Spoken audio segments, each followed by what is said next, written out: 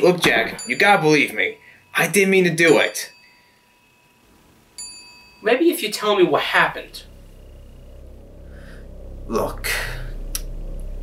Me and Vic were out back getting some firewood, and he started going on with his harebrained schemes again. And well, he mentioned that we should bury the hatchet.